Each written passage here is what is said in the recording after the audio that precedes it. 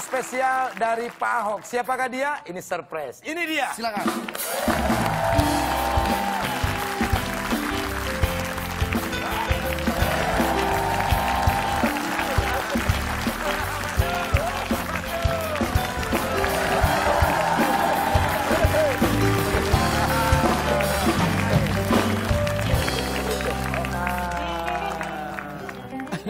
Ketemu kayak yang bingung itu. Halo Ibu Veronica. Wah, berarti ini ada Daud. pas kongkolan nih. Oh, harus ada dong. Bilang sama saya itu demam. Masih kontak-kontak, kok nggak dibalas-balas. Karena Bapak nggak tahu. Masih meriang nggak saya tanya? Nggak dijawab-jawab juga. Dia demamnya demam ini talk show, Pak.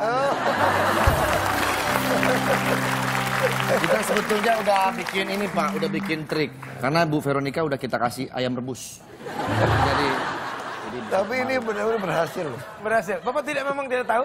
Ya saya pikir nggak mungkin dong istri saya demam datang malam ini. Iya. Ternyata datang. Iya. Nah, itulah yang Berarti spesial. Hebat juga. kamu. Ini talk show.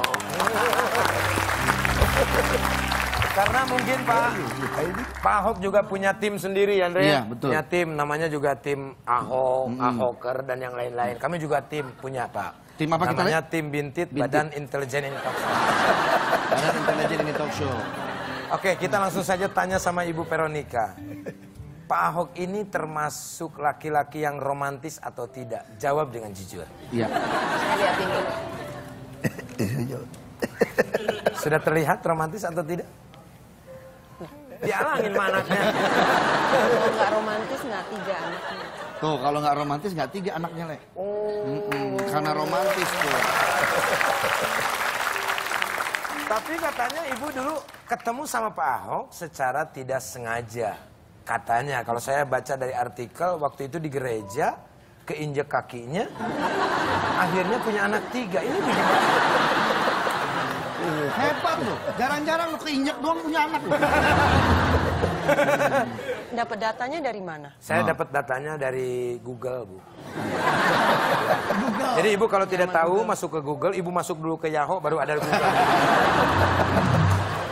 Atau mungkin Pak Ahok. Mungkin Pak Ahok, Ya, bisa gimana cerita. nih ceritanya waktu ketemu sama ibu? Ini saya pengaruh ibu saya lagi. Waktu kecil ibu saya bilang cari istri yang masih kira-kira betisnya yang bagus berisi. Kayak Mas Tukul ya. iya. Jadi pas lagi rame-rame kan, rame-rame terus injak orang, ah teriak gitu kan. Otomatis saya lihat ke bawah nginjak apa gitu, teriak gitu loh. Rupanya lihat Betisnya wah, bagus. Betisnya bagus juga. Jadi dari betis naik ke hati. Bukan dari mata turun ke hati. Iya biasanya begitu kan dari mata Itu turun kan ke cerita hati. kuno, zaman teknologi dari betis ke hati. Tapi itu memang udah diatur jodohnya, Pak. Kalau pada waktu itu Bapak injek tek begitu ngeliat betis ibu bulu sama gede.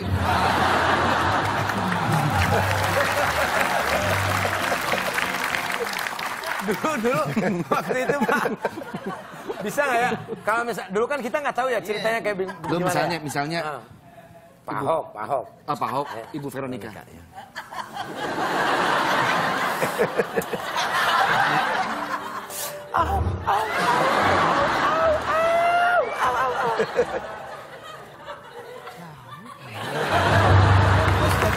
Pulang lagi.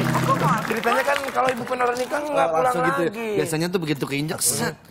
Cia, cia, cia. Nah, gitu. Oh sakit ya? Sakit. Pas mau diginiin, lo juga turun tangan. Oh iya.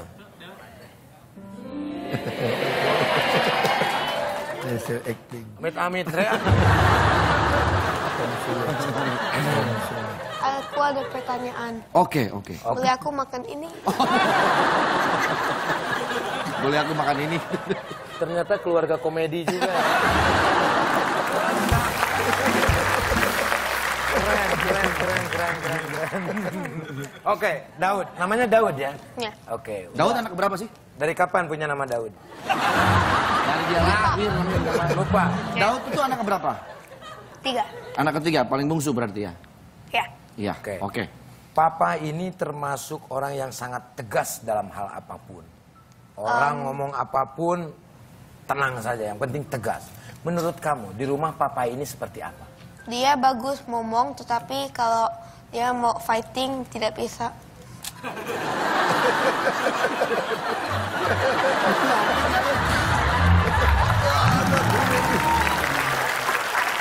Dia bagus ngomong, Ngomong, tapi ngomong kalau bagus. fighting, Fighting, tidak bisa. Tidak bisa. Eh, mohon maaf Daud ya ini. Ini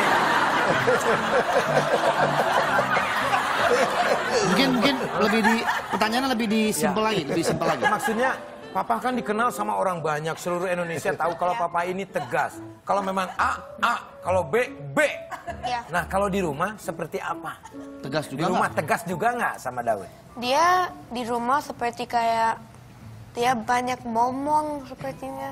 Aku tidak Banyak tahu. Aku tidak kenal. Banyak ngomong atau ngomong? ngomong. Oh ngomong. Ngomong, gendong. Digendong Iya. gitu kamu? Iya. Oke. Aku jalan dia gendong aku, bilang aku kegendutan dan dia tahu aku di bawah. Kamu digendong tapi Papa bilang kegenutan. Iya, ntar aku di bawah. Kalau udah genut kenapa digendong kan berat?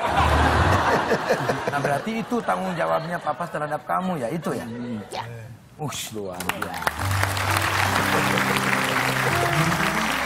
Kalau di rumah yang paling tegas siapa? Mama atau Papa? Aku.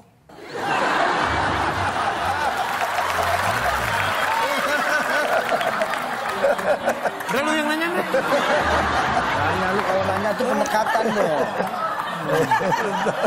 Salah kayaknya. Kalau nanya sama anak kecil tuh kita harus kayak anak kecil juga. Jadi nyambung. Oh gitu. Coba coba coba.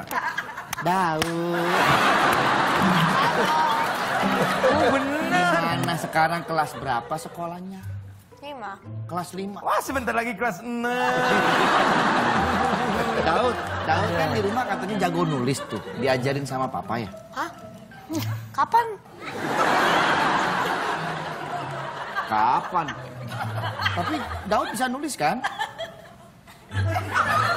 Jago nulis kan. Jago nulis kan? Pak saya sarankan jangan masuk politik. Ini lawak aja Pak lawak. Ini udah bagus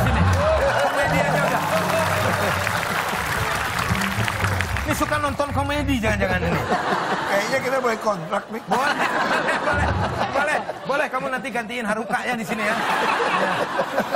Daud, ini mau tanya nih. Papa kalau di rumah hobinya apa? Kamu hobinya makan ya? Ya. Hmm, kalau papa? Itu Apa? Hobinya makan es krim habis makan makanan. Oh, ngabisin makanan.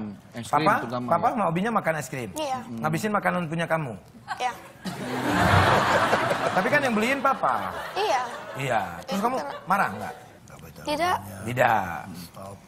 Terus kamu minta lagi sama Kan papa. seperti ini habis itu dia bentar makan. Dia bilang stop makan bentar lagi.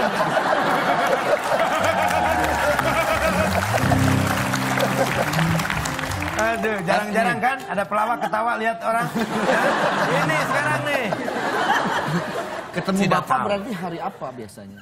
Hari Mukti? Ya. Hari Minggu?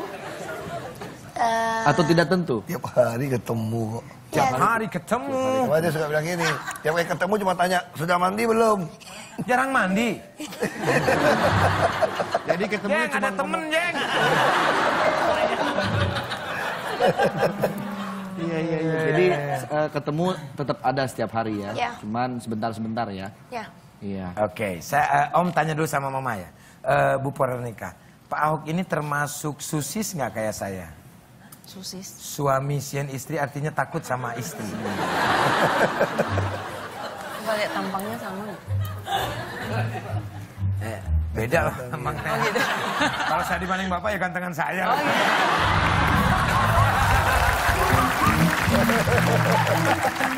Beda kalau Pak Ahok kan agak oval, kalau ini kotak. Bilang aja lu dempak lu. Termasuk takut nggak sama istri Bu? Atau mungkin setia dan yang lain-lainnya mungkin? Nggak takut. Nggak takut. Mana takut? Kelihatan. tidak pernah takut sama. Mm-mm. Cuma ngeri aja. Oke. Jadi bener kan, bukan takut ngeri, ngeri. Ngeri, ngeri, bener bener. Ini Langsung nempel ke sini. Ini Pak terus terang anak Bapak termasuk orang yang cerdas kalau menurut saya. Bisa memanfaatkan momen yang tepat. cerdas. Oke ini anak polos sekali padahal pakai baju ya. Nah, satu terakhir mau tanya sama Daud. Daud, Papa kan seorang eh, tokoh politik, gubernur. Kalau Daud punya cita-cita seperti apa? Kamu jadi seperti Papa? Calon gubernur. Oh, calon gubernur. Eh, aku mau jadi orang yang makan banyak. orang yang tes makan di store atau apa-apa. Ya. Oh, jadi kepengen makan terus Ya. aja ya? Bagus, Gak apa-apa. mau jadi politisi atau penyanyi, Tidak, mau makan saja. pelawak? Enggak juga. Nggak juga. Berarti kamu nanti cita-cita kelak pengen menjadi pengusaha restoran. Luar biasa. pengusaha restoran.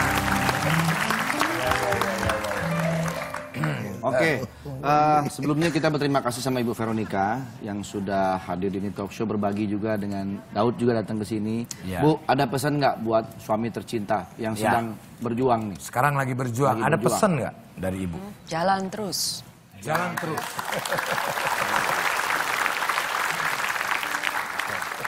Bapak, ada yang mau disampaikan buat Ibu Veronica?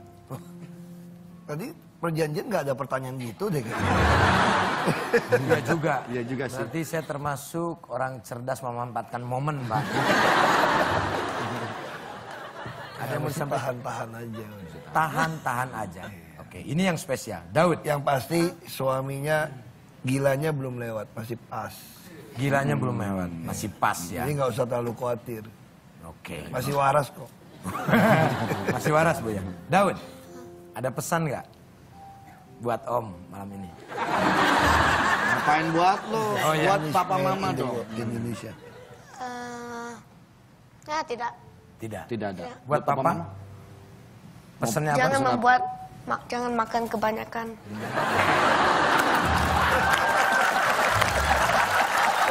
Ibu Veronica, terima kasih sudah hadir di sini berbagi.